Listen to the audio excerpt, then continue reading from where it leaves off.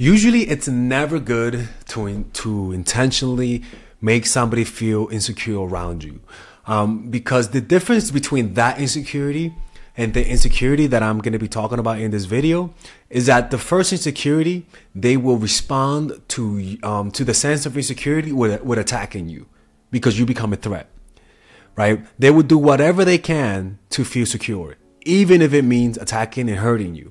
This type of insecurity comes not from validation or the desire to get validation from you, but rather it you are just reflecting to them their shortcoming and and be and you have become a threat. That is not what I'm talking about. That's abusive. Um, it is offensive. It is, and that is completely disrespectful to do this. What I'm talking about is you want them to feel a need for you. You want them to feel a need around you, a need that you can meet. The safety you give them, the sense of acceptance that they feel in your presence, once they leave you, reveals a sense of discont- discontent inside. So once you return, they'll have a sense of, I don't want to feel that lack anymore. And so what and, and, and so because of that, it creates an underlying insecurity, a natural insecurity. It's like the child who loves his mother and doesn't want to get away from her. They may have a perfectly healthy relationship, but the point is, is that it's his love creates an insecurity that that pushes that kid to want to be around his mother. So it's very important that you guys understand this because every time I make this type of video, people seem to never really hear what I just said to you guys. And the reason why it's this everyone possesses a delic- delicate ego that remains concealed beneath a facade of security on the outside. And behind this mask, we wear the, behind the mask we wear lies the feeling of uncertainty and emptiness. Every single one of us. Your task then is to unearth the, these doubt and anxiety, leveraging them to guide individuals towards success through your influence.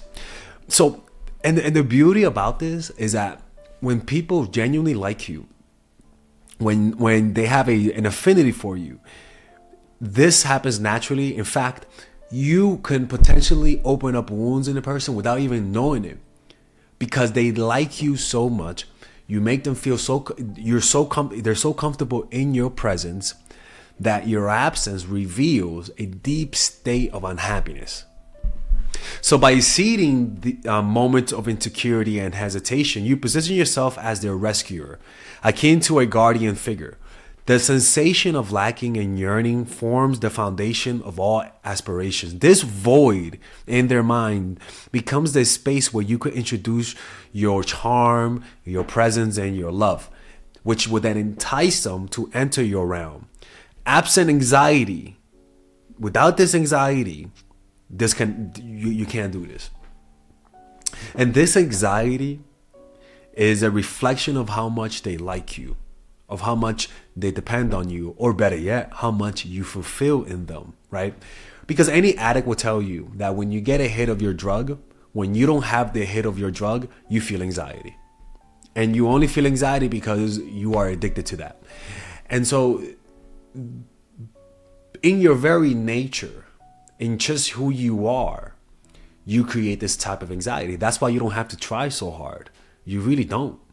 You just have to be very cognizant of overexposing yourself, of of being too polite, of of not really being yourself around them is what really causes this to backfire on you. Let me explain to you why. You see, naturally, when you like people, what, what you don't notice about people who like you a lot is that they're very sensitive, right? Um, they have a hypersensitivity to to the signals you send out. Um, and and this hypersensitivity tends to create illusions in their minds where they see things that are not there. Um, where if you don't text them for a few hours, they start thinking that maybe you found someone, or maybe you didn't sleep over with them that night when you always do, and now they're saying maybe they're losing interest. You know, and so this hypersensitivity comes about because of how much they like you and because how much they realize that when they're when you when they're not around you they feel anxious right? It's it's it's that anxiety that makes the the love so interesting so sparky so so captivating. Without that anxiety it won't be exciting. It just it just won't you know? It just won't and by you so you so falling in love with someone naturally creates soft spots in them right? And it makes the soft spots even softer. And they'll they'll pay attention to the slightest change in your behavior. And this deepening of paying attention is what inspires them to be romantic. This deepening of paying attention is what allows them to remember your birthdays. That's why it's a red flag when they forget those little things. It's this deepening of attention to you is what makes that makes them um, want to impress you, is what makes them remember the little things about you, is what flatters you, pretty much, right? And this happens because you become a mirror to them, right? Um, your your mere presence is placing a mirror in front of them from which they can see their emptiness, right? They become aware of that lack so that you can feel it at the uh, uh, on the other on the other hand right? And the reason why is this is because people are very lazy right? They're always looking for somebody else to fulfill them. They're always looking for that magic elixir always looking for that improvement without putting effort. And so the desire to have somebody feel our emptiness is a weakness that we all prey on each other with because if they, if people didn't have this lack inside nobody will seduce each other. Nobody will need a partner. Nobody will need to get married if they, everyone is fulfilled. People only fall in love and only deeply and obsessively fall in love when there's a lack in their lives. It's just that simple. Without that lack i don't care. You know if you're a moral person then too bad for you. Too bad for you. Right? Because even jesus said all of you that are weak, all of you that are unhappy, come to you. Jesus didn't say, all you happy motherfuckers come over. No. No. He wants, you know, even Jesus said, from the mouth of babes um, um, um, comes the kingdom of heaven. Give me your weak, give me your lame, and give me your this, your that. And the reason why that is, is because the unfulfilled, the ones that need something, are the ones that are easily seduced. The ones that are seduced are the ones that want to be seduced. so there's plenty of people that this works on. This works on you, this works on me. In fact, the feeling of insecurity is a very thrilling feeling because you have no control over it. And that's what makes it so much fun. If you let go of the control and are not afraid to get hurt, these type of experiences are very, very, very pleasurable, right? So remember, the insecure and unhappy are the most common emotional voids that people have insecurity and unhappiness, right? And because of that, they are suckers for validation. I'm a sucker for validation. If you're a hopeless romantic, you're also a sucker for validation. And and it's very difficult to disguise this. It's very hard to disguise this, right? And so by you filling that void, you have a lot of great power. And and and, and this is the funny part, right? Is the way to do this is just just be honest. And let me get let me explain to you guys, right? I bet you guys, what the fuck does he mean honest? I never heard him say that word. This is what. When when like I said, people are hypersensitive to you when they like you. Okay, they're hypersensitive. They see things that are not there. Um, they even notice your little facial expressions. They even they, they notice everything. Like a child who needs to impress his parents, they notice all of the little things that you do, right? And one of the things about people is that people who naturally pull away, people who naturally take a step back, they never take obvious step backs. In other words, they don't just say, they don't just stop responding to you for two days. They don't just ghost you on a date, right? That what that does, it inspires resentment and you want to get revenge. The pulling away that partners do when it's a good relationship is subtle. Maybe they you notice them hesitating to kiss you Maybe they don't sleep over as much as they used to. Maybe they there's a certain like lack like there's a less emotion when you're around them. Maybe they talk a little bit less. Maybe their body language is usually facing you. Now their body language is slightly turned in this direction. Things that are not noticeable, but if you're hyper vigilant, if you're hyper aware, you're gonna notice that and make connections that are not even there. That that that that's just what's gonna happen, right? And what tends to happen though is that when you like someone, this is once is something that doesn't happen. You stop being honest with them. You stop criticizing them when you feel like they do something wrong. You don't show them that they're mad when you're mad. They don't clean the dishes, and because you like them, you don't tell them that they gotta clean the dishes. When you wanna when you wanna go on a date, but then you change your mind, you don't change your mind. You just go because you don't want them to feel bad, right? Um, you you don't desire your own space, and even when you desire your own space, you don't express it. You don't have those uncomfortable conversations. People, uncomfortable conversations talks that you have to have with your partners, you know what they are. Everyone has them. Uncomfortable conversations creates a reconciliation after you guys talk about it that actually strengthens the bonds that you have. But in that moment of having those tough conversations, insecurities come up.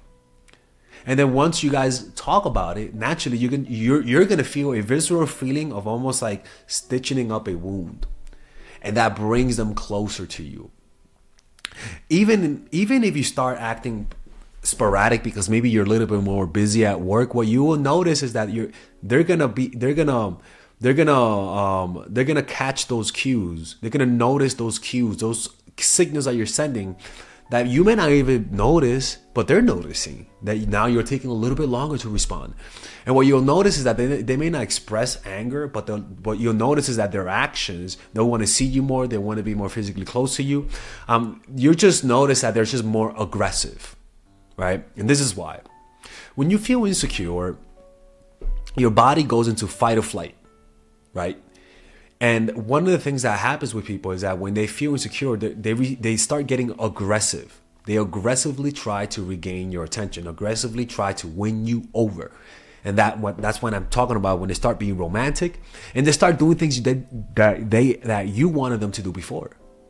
And a lot of the times this happens when the person is genuinely losing interest or genuinely stopped liking them and now all of a sudden, once they stop liking them, they want them, and you're like, dude, I don't want you no more. Chick, girl, I don't want you no more. But it's only because now you're you're allowing them to feel insecure in your presence. When you like someone, this is something that you don't do. You really don't. It, honestly, you just don't. You start doing this, you start uh, doing exactly what I said once you mentally check out once you say, you know what, I got to break up with this person, but I don't know how to tell them. So in the next few days, weeks, or months, you start being there, but you're not really there. Like your body's there, but your mind is not. And they're gonna notice it. Yeah, and you're gonna notice them doing do, doing more. The person who was cold all of a sudden is the warm one. That's just how that works. So the key to this is like I said, just be honest with them. Don't lie about your exes. Yeah, she if you know, don't lie about it. If if you usually date girls, like for example, like an example is like is is if you usually date girls with big butts and she doesn't have big butts, a big butt is that's an example, right? A lot of times a guy will hide his preferences because he doesn't want to offend her, offend her, and vice versa, right? And she's dating a guy, she dates black guys, and now she's dating Bob the programmer. Maybe she won't tell him that she dates black guys, right? But one of the things that happens when you don't like the person is that you are more comfortable revealing those things. Honestly, you're more comfortable because you don't give a fuck what they think. And and this is why it's so hard to pinpoint why is it that the people we want don't want us back and vice versa. Is because the things that you do when you don't want the person are so subtle that you can't really it's almost like you're acting the same but you don't know what you're doing different. What's going on is that there's a pattern that's happening. There's a pattern that you're not aware of. And that's and it's this is that when you like someone you're actually just more you're less honest with them in terms of the things that could hurt them. You you sort of cradle them and protect them from the truth. And this happens with me. Like if somebody leaves the dishes dirty or somebody leaves my apartment dirty, I, part of me won't tell won't tell them as a as you know leave got to be more confrontational. But every time that I've dated a girl that she called me out on my bullshit, there's a it always made me feel insecure. And that insecurity always led me to see her differently in a positive light. It always does. It just always does. It always does. You know? So that's why you shouldn't be afraid. Call them out. You don't have to lie to people, manipulate them. Call them out on their bullshit. You know, if they're always late, say that. You let them know. Have a have a have a conversations. Have conversations. In the first few months, you gotta have conversations with people. Tough conversations because you're, you're always going to be you're always going to encounter friction and if you don't call it out you're sending a sign of weakness you have to have those conversations. They only bring you power. They only make them like you more. And if they don't and if and if they if they get offended or if they don't want to talk and have those conversations then that's your cue to leave. Because this is not going to get any better. It's not like all of a sudden they're going to want to have a conversation. And this is the thing. If you use the strategy and they don't notice you're pulling away, or they don't notice that now you're not as enthusiastic, or that they don't respond to your um, to your coldness with extra warmth, it just means that they don't care enough to pay attention. They feel that your your absence does not make them feel insecure, and that's your cue. That tells you that they don't care. Like when, when, when somebody genuinely loves you and values you, at a, almost any unpredictable act that you do instills terror in their minds. Instills ter- terror. Cause, cause it's, it's almost like losing a loved one. Like they, they, they genuinely love you and, and, and your unpredictable nature, like tortures them inside. And so that's why these strategies reveal. They reveal what's inside. And this is how you do it, right? This insecurity is always there. When they stop loving you, you'll notice the insecurity goes out the window.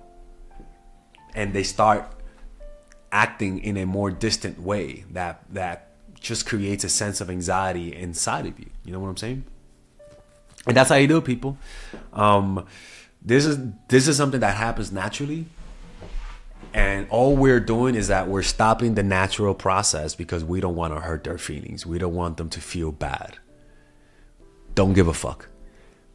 If you have to offend them because they they they're they always leave the dishes dirty, let them know.